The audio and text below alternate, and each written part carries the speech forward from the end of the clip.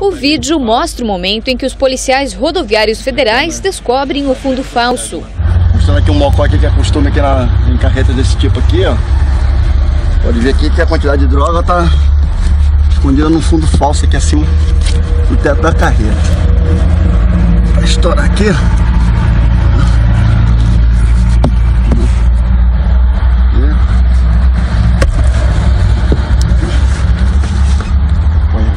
Além do teto, nas paredes os policiais também encontraram outro esconderijo e mais drogas.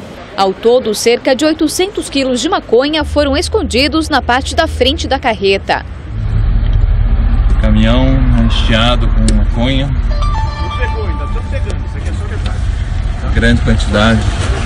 Apreendida pela PRF na BR-101 em Barra Velha. Daqui a pouco vamos contabilizar o valor total e peso.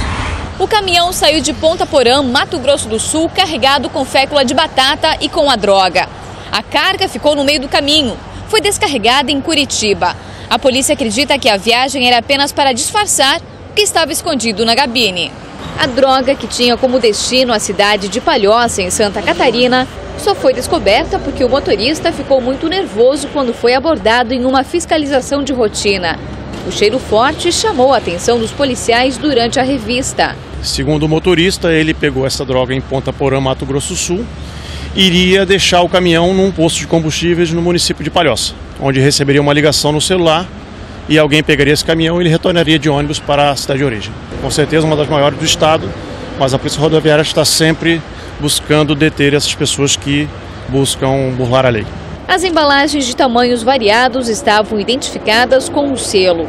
O motorista de 34 anos foi preso e a maconha encaminhada para Joinville. Devido à grande quantidade, foram necessários dois carros para acomodar os pacotes.